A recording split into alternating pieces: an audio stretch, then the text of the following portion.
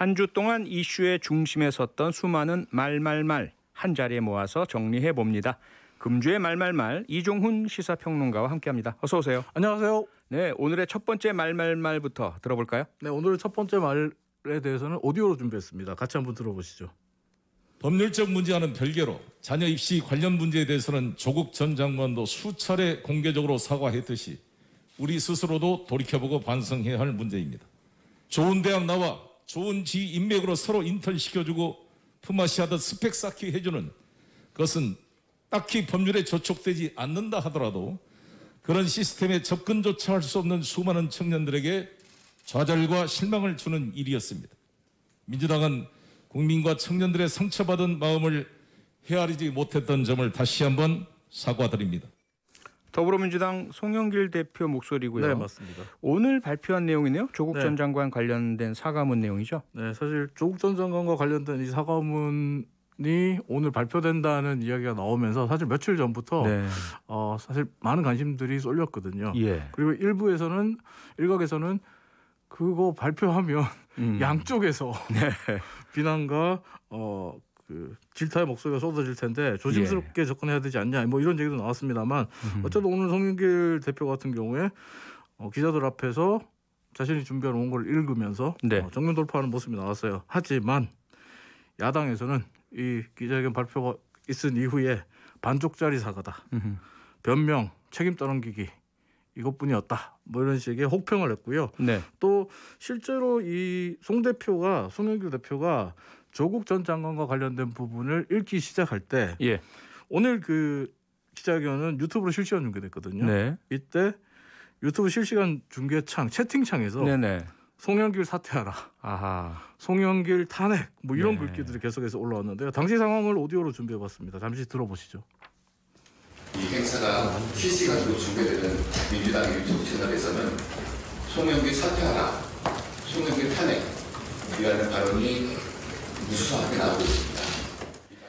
네, 송영길 사퇴하라 탄핵 이런 반응 그 이유 좀 짚어주시죠. 뭐 이유는 아시겠습니다만은 조국 전 장관과 관련된 문제는 민주당 지지자들 사이에서도 좀 첨예하게 입장이 갈리는 부분이 있습니다. 그렇죠. 이건 사실 조 전 장관의 문제가 이 자녀 입시 문제와 함께 조국 전 장관 가족에 대한 검찰의 과도한 수사, 네. 뭐 오늘 송영길 대표의 말에 말을 그대로 옮기면 가혹한 수사가 음흠. 있기 때문에 이 두 가지 문제가 혼재돼 있거든요. 그래서 한쪽에서는 송영길 대표 말처럼 조국 전 장관 자녀의 입시 관련 문제에서 부모 찬스, 내로남불의 문제에 포커스를 맞추고 청년에게 공정하지 못했다. 어, 죄송하다. 이렇게 사과하고 넘어가야 된다는 입장을 보이고 있고요. 네. 다른 한쪽에서는 표창장으로 대변되는 이른바 에, 표창장으로 대변되는 조국 전 장관에 대한 검찰의 과도하고 가혹한 수사 그리고 검찰 개혁, 언론 개혁의 필요성. 또 조국 전 장관 가족 같은 경우에는 검찰과 언론의 모욕 주기 그리고 조리돌림 이런 것도 있었기 때문에 이런 쪽에 방점을 두고 어, 검찰 개혁과 언론 개혁을 이야기하다 보면 네. 아무래도 조국 전 장관이 왜 사과를 해야 되느냐 이런 이야기가 나올 수밖에 없는 상황이죠. 따라서 오늘 유튜브 창에 송영길 사태, 송영길 탄핵을 이야기했던 누리꾼들 같은 경우는 아마도 대부분 지금 말씀드렸던 후자의 무게를 두고 계신 음. 분들이 아닐까. 그러니까 검찰 개혁과 언론 개혁이 먼저다라고 생각하시는 분들이 이런 글귀를 남겼다 이렇게 보시면 될 것 같습니다. 네, 그런가 하면 오늘 송영길 대표의 이런 사과문이 나오자 조국 전 장관도 입장을 내놨죠. 네, 그렇습니다. 조국 전 장관 자신의 SNS에 글을 올렸습니다. 송영길 대표의 말씀을 겸허히 받아들인다라는 입장을 내놨는데요. 오디오로 준비해봤습니다. 잠시 조국 전 장관이 오늘 자신의 SNS에 올린 글 같이 한번 들어보시죠. 민주당 송영길 대표의 이하 말씀을 겸허히 받아들입니다. 조국의 시간에는 물론 그 이전에도 저는 같은 취지의 사과를 여러 번 하였습니다. 민주당은 이제 저를 잊고 부동산, 민생, 검찰, 언론 등 개혁 작업에 매진해 주시길 바람하지 않습니다. 저를 밟고 전진하십시오. 네, 들으셨던 것처럼 조국 전 장관 송영길 대표와 민주당을 향해서 이제는 조국을 잊고 개혁을 위해서 조국을 밟고 전진해라. 라고 주문하고 있는데요. 네. 사실 지금 부동산 문제, 민생 문제, 코로나19로 인한 민생 문제 굉장히 어렵고 힘듭니다. 그리고 또 검찰 개혁, 언론 개혁 해야 해야 되는 부분이 있습니다. 이런 모든 것들을 여당과 우리 정치권이 또 정부가 잘 어, 매진해서 풀어져 나가기를 바라면 측면에서 저를 밟고 전진하십시오라는 조국 전 장관의 말을 오늘 첫 번째 말로 꼽아보겠습니다. 네, 에, 조국 전 장관 관련된 사안은 아마도 역사가 차분하게 나중에 어, 좀더 정리를 해줄 것으로 어, 믿습니다. 네, 이종훈 평론가가 뽑은 첫 번째 말말말은 조국 전 장관의 말이었고요. 이번 어, 그럼 두 번째 말말말로 넘어가 볼까요? 누굽니까? 두 번째 말말말 역시 오디오로 준비했는데요. 목소리 들으시면 아 하고 바로 아실 겁니다. 단박에 아실 것 같은데요. 오디오로 직접 만나보시죠. 이준석 후보가 젠더 갈등을 막 일으켜서 유명해지고 더 인지도가 높아졌는데요. 예. 그러니까 트럼피즘이 어떤 겁니까? 이 백인 하층 노동자의 분노를 이민층에 대한 혐오로 돌려서 집권하게 된 겁니다. 그러니까 이 분열의 정치, 혐오의 정치거든요.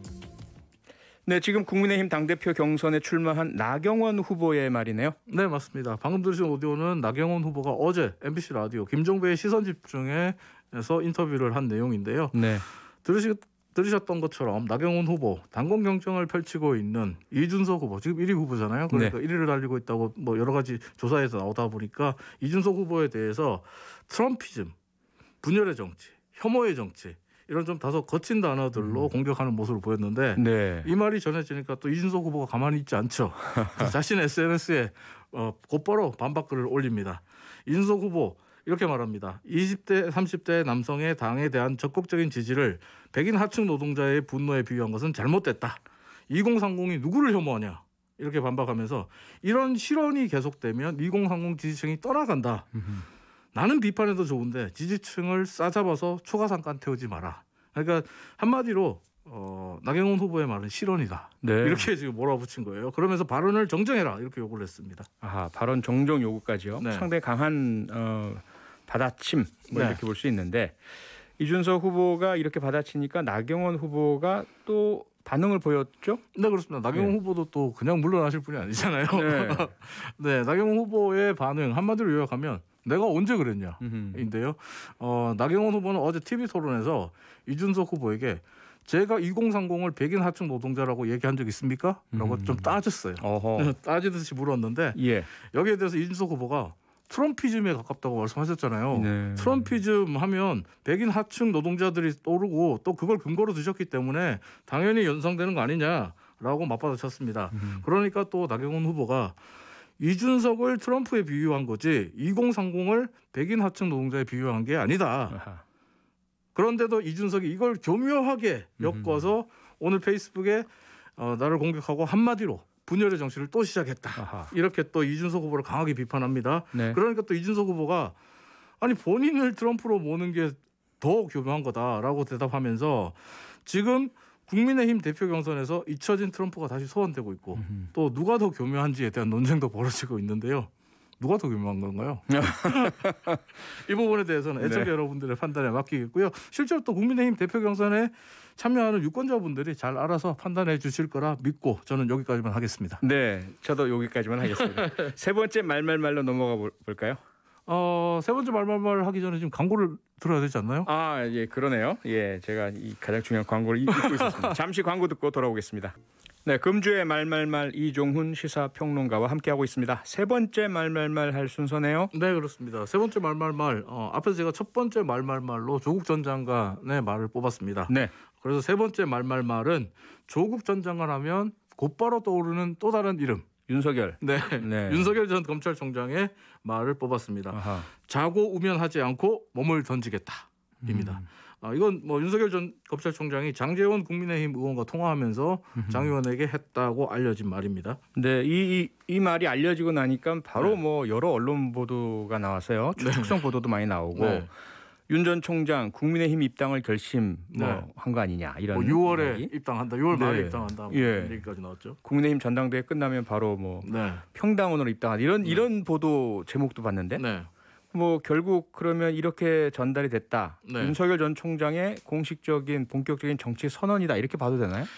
어, 그 대답은 준비한 오디오로 대신하겠습니다. 같이 들어보시죠. 네. 지난달 26일 저녁 윤석열 전 검찰총장은 국민의힘 정진석 의원과 4시간가량 만찬 회동을 했습니다. 당일 저녁은 윤 전 총장이 먼저 전화를 해 성사된 자리였습니다. 최근 국민의힘 의원들과 접촉면이 늘면서 정계 진출이 임박했다는 관측도 나오고 있습니다. 지난주 국민의힘 윤희숙, 정진석, 권성동 의원 등과 만났고 앞서 장재원 의원에겐 전화로 좌고우면하지 않고 몸을 던지겠다는 결심을 밝히기도 했습니다.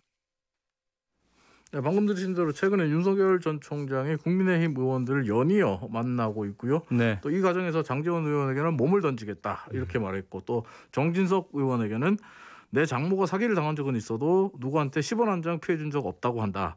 내가 약점 잡힐 게 있었다면 아예 정치를 시작도 하지 않았을 것이다. 이렇게 말했다고요. 네. 본인 정치 시작했다고 얘기하고 있어요. 어 그러네요.